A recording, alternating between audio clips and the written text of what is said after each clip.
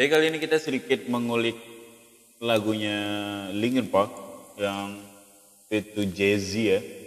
Itu dia penggabungan penggabungan tiga, tiga judul lagu ya kalau nggak salah. ya. Eh, Point of Authority, One Step Closer, dan ya One Step salah ya. Oh, ya one one step closer sama 99 problem. Jadi ada penggabungan dari tiga, tiga judul lagu ya, eh, yang masing-masing ada di lagu itu. Eh, sebelumnya saya ingin jelaskan dulu di lagunya ini, lagunya Linkin Park, dia itu untuk eh, stem gitar atau setelan gitarnya itu kalau bahasa Medan ya, saya orang Medan.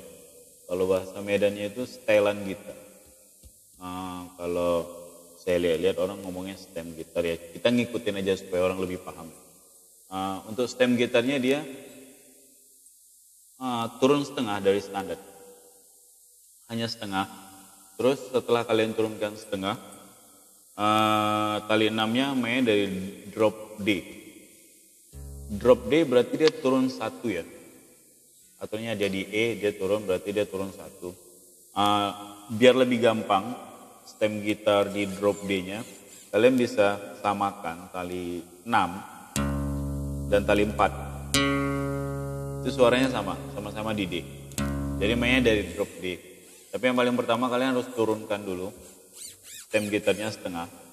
Jadi dia kalau ini saya uh, samakan ya stem gitar kita, ini di tali 6 main dari kalau dari ini ya dari stem gitar asli.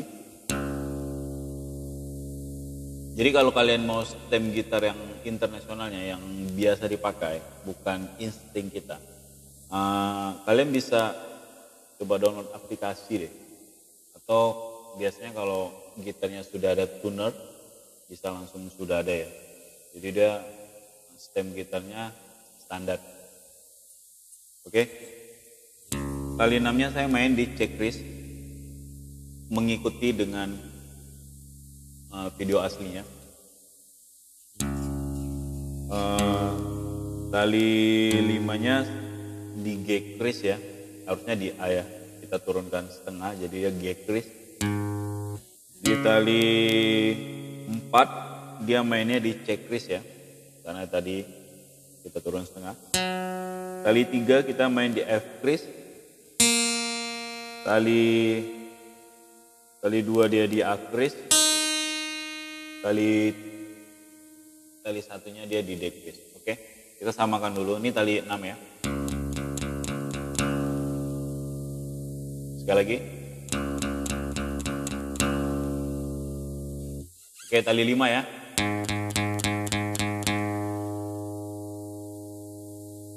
Sekali lagi.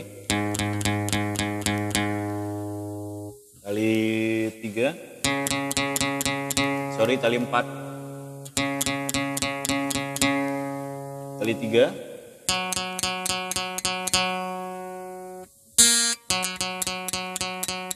Tali dua. Tali satu.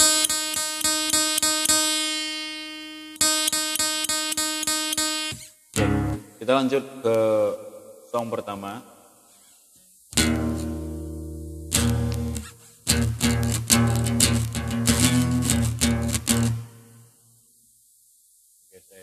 Saya dengarkan dulu, saya agak-agak lupa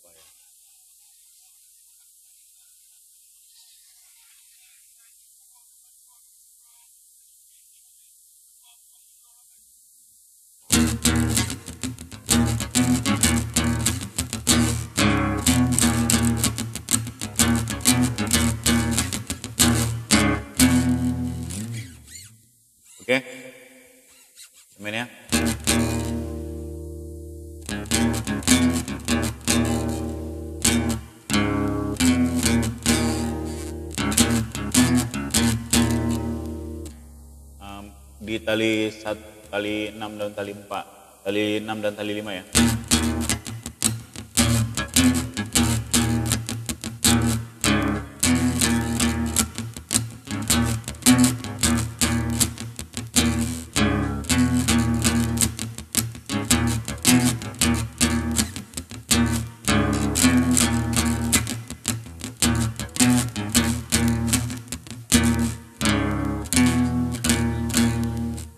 Lambat ya.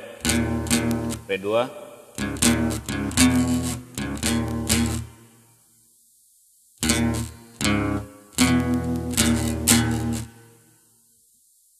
Apa? Hah? Apa-apa, mas aja.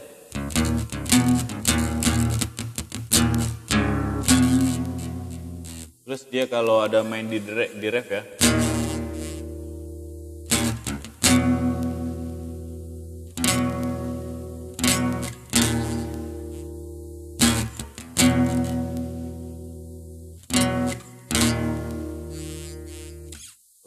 itu yang pertama. Kita masuk ke bagian keduanya, yang di tengah.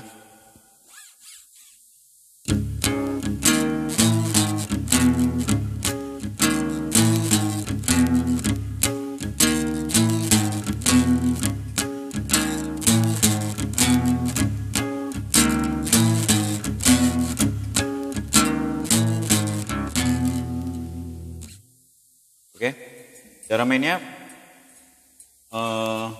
di dep dulu ya pertama ya, dilepas.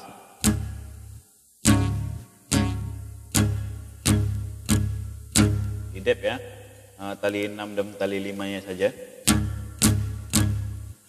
Habis itu kalian main harmonik. Harmoniknya dia begini.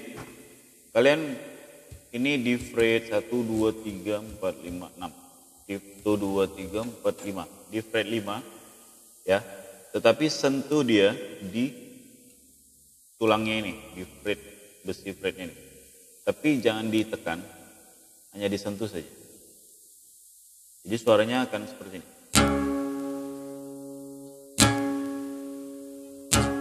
Tapi pas di tulangnya ya di atas tulangnya tapi jangan ditekan disentuh aja.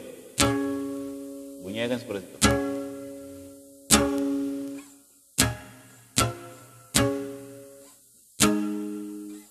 Karena dia harmonik, dia hanya main di sini, sama di sini, sama di sini. Yang lainnya mati. Di sini ada nih satu. Tapi di sini lebih nyaring. Oke ya, saya rasa paham. Kita cara mainnya di dep dulu pertama. Langsung ke E ya.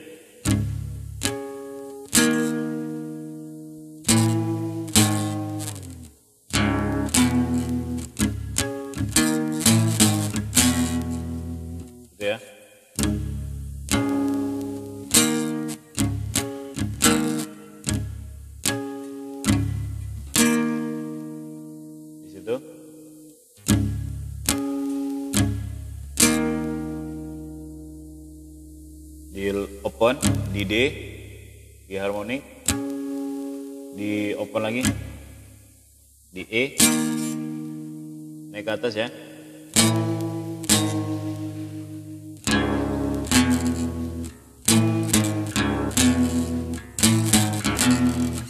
Oke di situ. Tinggal ngikutin iramanya saja. Kita coba mainnya pelan ya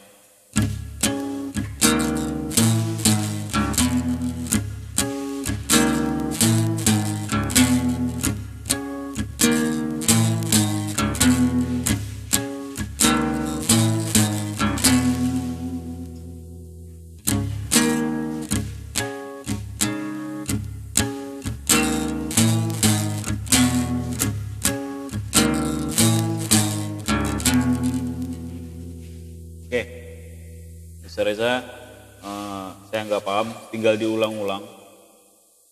Terus dia ada di bagian ini, di part ini.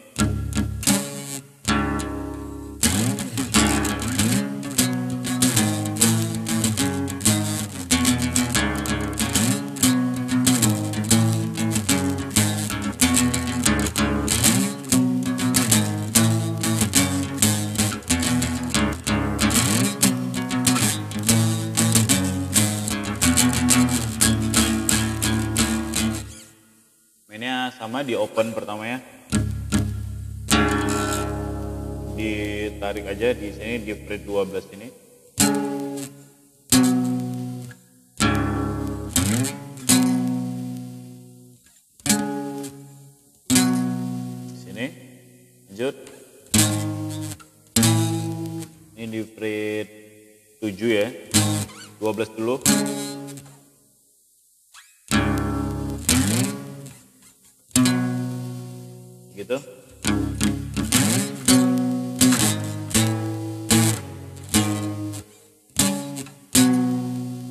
Tujuh, delapan, lima, enam, eh, tujuh.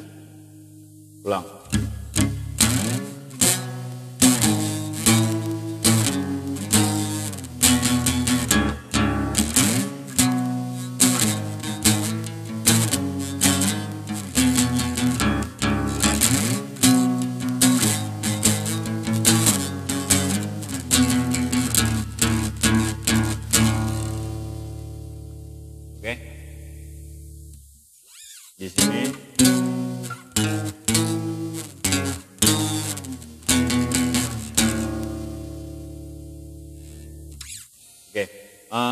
Di terakhir sebelum terakhir, di terakhirnya yang ini ya.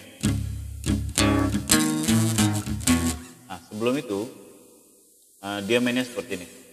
Sebelumnya ya.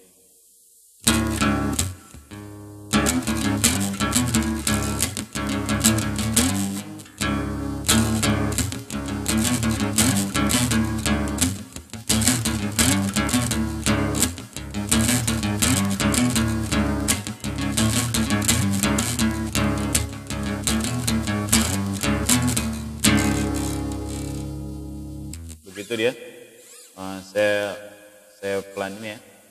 Dari fret 1 ya di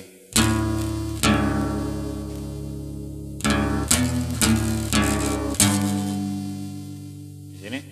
Fret 6 ya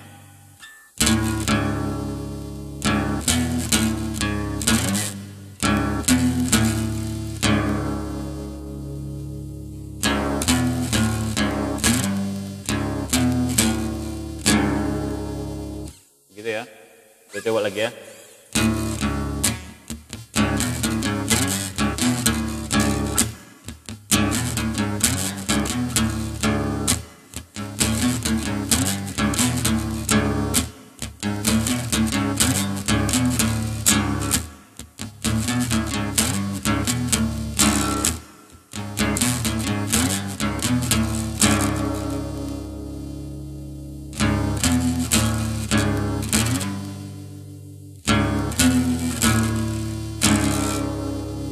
Oke, saya akan mainkan beberapa bagian-bagiannya saja. Saya tidak mengikuti lagunya supaya tidak terlalu panjang ya video ini.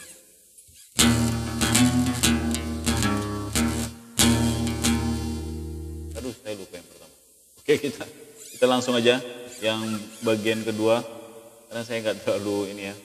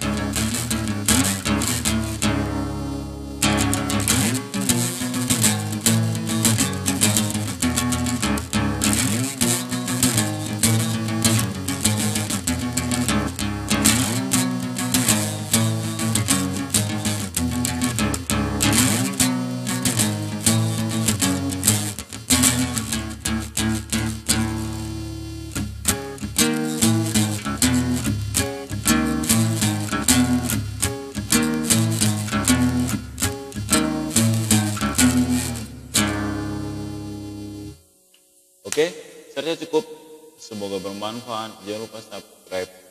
Wassalamualaikum warahmatullahi